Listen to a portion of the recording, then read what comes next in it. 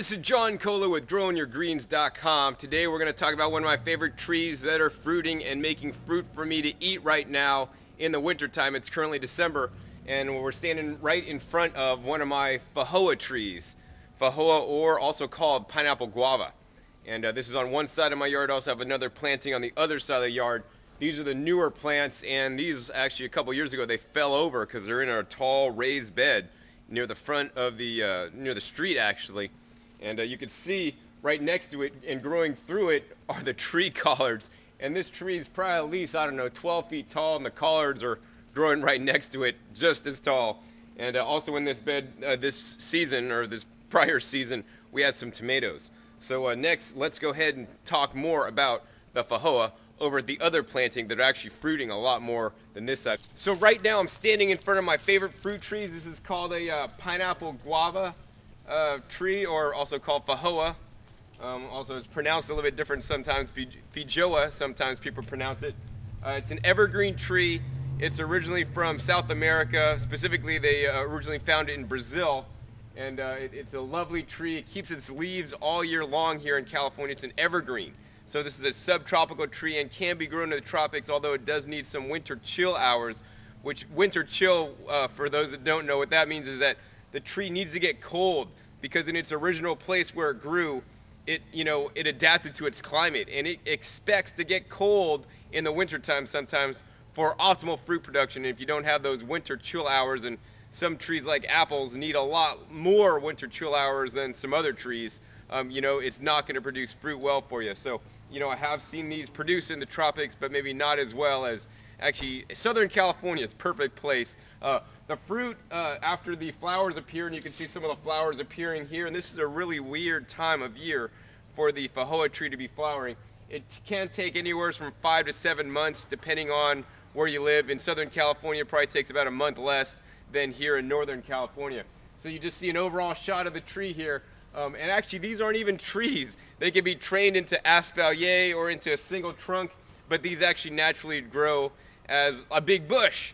And um, the relatively slow growers, I've had these in the ground for, I don't know, many years now, and they, they always keep to in, enlarge their trunks slowly but surely. And, you know, they don't really get out of hand at all. I've never really pruned it. I want them to grow as much as they can and have as much fruit for me as possible.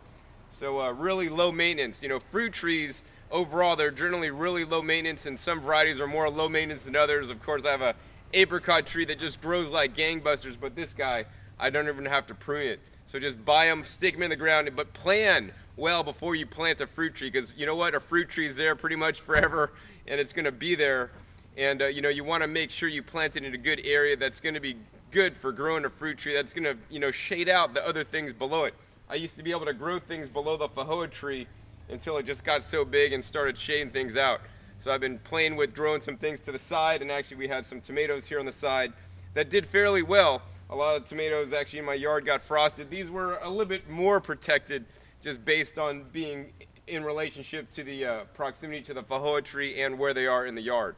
So uh, let's go ahead next and do a close-up of the feijoa tree. You can see the leaves and actually some of the flowers and some of the pollen. So this is the uh, feijoa tree here and uh, it's, it's, a beautiful tree, nice evergreen. I love trees that are evergreen that keeps their leaves. To me, it gets so depressing when, you know, all the trees drop their leaves, you know, this time of the year. But this tree is one of those trees that keeps all its leaves. So over here you see we could get a close-up of a uh, flower. The flowers are absolutely beautiful. And what many people don't know is that these little flower petals right here are actually edible and they're really, really delicious. You may have seen that in, in prior videos. You just pick the uh, flower petal there and you could eat it. Tastes just like the fruit, just not quite as sweet. And there actually is a feijoa fruit still on the uh, tree. And the way to know when feijoas are ripe is you want to look at the ground because the feijoa tree will give us the ripe fruits. When it's ready, they'll drop to the ground. If you pick them off the tree, they won't be as ripe as possible. So you don't often see feijoas in trade or at your grocery store. I mean, sometimes you'll see them, but in my opinion, they've been picked way too early to be uh, optimally ripe. uh, the tree, if you pick too early, they just won't be sweet and then you won't get the full flavor that you could be getting. So now we're to look below the Feijoa tree and see if we could find any ripe fruit. Alright, what do I see there? They look like big, uh, you know, chicken eggs. big eggs right here. Here's one nice Feijoa fruit. That's a nice big size. Here's another one here. And uh, there's another one. All right. So uh, let's take these fruits now and uh, let's uh, show you more about what they look like on the inside and talk to you more about the Feijoa fruit. So I was able to harvest a whole bunch of Feijoas uh, from the ground over there underneath my trees. I have one whole plate full here. Unfortunately, you know, I love to eat my fresh fruits and vegetables and my goal is to eat everything and just eat out of my garden. That's not quite possible yet because I do eat more fruits than actually I could grow on this small lot. That being said, I can't, wow, these have such an amazing aroma when they're ripe. They, it smells like perfumey. They're so delicious. Anyways, um, but I can grow enough e vegetables easily to supply my vegetable needs on, you know, just a residential lot. On the fruit trees, you know, if I had acreage, I could definitely produce enough uh, fruit for me to eat. And one day I will have a farm and have a lot more videos about real farming on acreage uh, as well as um, you know just uh, in a in a residential setting like I am now. So I did go to the farmers market and I have some farmers market feijoas over here. Um, at my local farmers market, they're selling anywhere from six for a dollar, and that's where I got these, to four dollars and seventy-five cents a pound to $2.75 for one little carton, which is about, I don't know, five of them. So uh, what I really like to do, and I encourage everybody to do that grows their own food, is to do taste tests. And that's what I love to do. I love doing taste tests. So I love to compare what I'm growing with fresh picked farmer's market, you know, food of the same type. So obviously we're comparing feijoas to feijoas. Obviously the cultivars, and what a cultivar means is it means like a different variety. So there's many kinds of like if you say dog, you know, if you think I don't know, you might think golden retriever, you might think Labrador, you might think Chihuahua. Those are all different varieties of dogs. But many people don't know. I mean, many people know there's many varieties of apples. You know, Granny Smith, Red Delicious. But there's also many varieties of all the different plants and fruits in the world too. So I don't know. Mine are unnamed varieties that I'm growing, and I have two different varieties. I have one kind on one side of the yard and another kind on the other side you can kind of tell the varieties. Some are more kind of oblong fruits, and then sometimes you'll get more like round fruits. And so there's many different kinds of varieties, and that just depends on, you know, the different seeds when they're pollinated and the crosses that you get. Many of them have been developed actually to be very delicious. So New Zealand and Australia grow commercially a lot of the different varieties of feijoas, and you can easily find name varieties there. Uh, but if you're just trying to buy a tree, you, you could find a name variety if you look really hard. But at your local nursery, uh, here in California, actually, the Feijoa uh, tree or pineapple guava tree is actually grown as an ornamental in many cases, and most people don't even know you could eat the delicious fruits. So let's go ahead and do the taste test. First, we're going to go ahead and take uh, one of the ones that I grew out of my yard. Uh, let's see here. This seems like a nice one. Should have a nice fragrant flavor, uh, looks like this. And let's go ahead and cut it open and show you what it looks like on the inside. I have a nice ceramic knife and we're just gonna basically, what I like to do, the skin is not edible on the feijoa, but you can eat every other part. So some people may just cut it open and then actually scoop it out with a spoon. I like to uh, normally cut it into fourths. Just like that and I'll take this and I'll just basically eat out all the fruit and I'll just leave the peel. But this is how it looks like on the inside. Uh, basically there's these seeds and you can start these from seed although I also have heard people do it from you know uh, cuttings from the feijoa to uh, propagate or propagate them. A nice view of the uh, feijoa also is if you uh, get a fruit that's ripe and you cut it right through the middle and you can kind of see right in there they got the little four sections and that's those are the seed pod areas.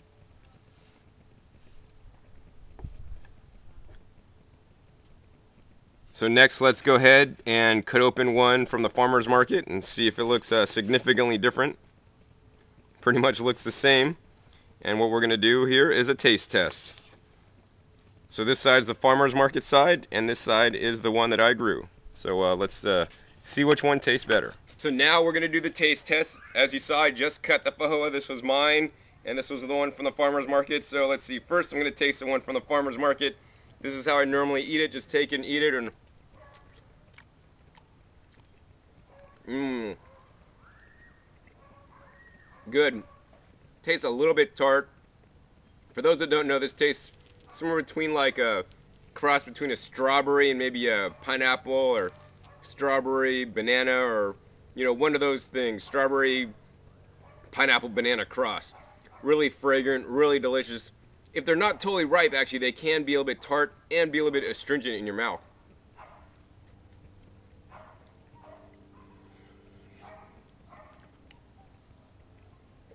this one's not quite as sweet as it should be in my opinion a little bit tart. Now we're going to eat mine. Wow.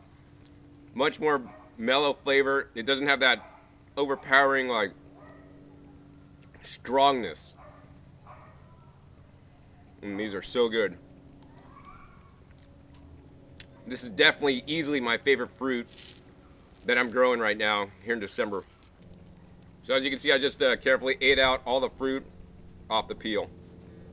The one reason for doing taste test comparisons is to know where you stand.